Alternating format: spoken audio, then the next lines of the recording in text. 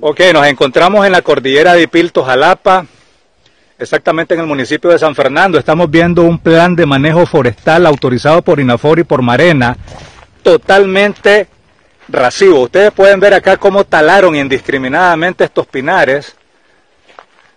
Indiscutiblemente que para una industria forestal, pero acá lo que podemos observar es una tala indiscriminada, que esto afecta directamente la producción de agua de los segovianos. Estos pinares son el equilibrio de estos ecosistemas que proveen de agua y de oxígeno, no solo a los segovianos, sino también a la humanidad. Nos encontramos con don Jaime Inser, barquero, en el lugar de los hechos. Don Jaime, ¿qué opina usted de todo lo que ha venido observando en esta cordillera de Pilto Jalapa, en los puntos que hemos andado y principalmente donde estamos ahorita, en esta tala indiscriminada de los pinares?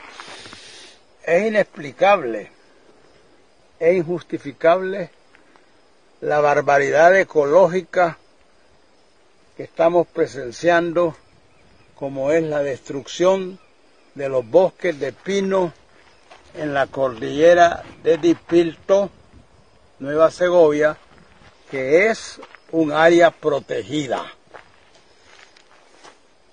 Cuando ustedes observan la forma brutal, cómo han cortado los árboles en pendientes sumamente escarpadas, despejando lomas y cerros,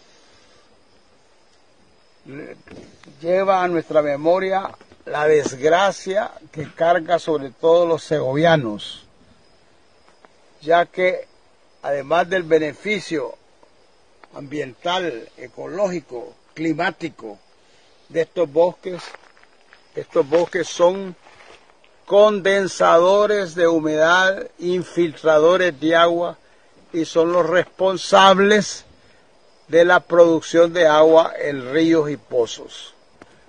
Nueva Segovia se está rápidamente transformando en un desierto y la población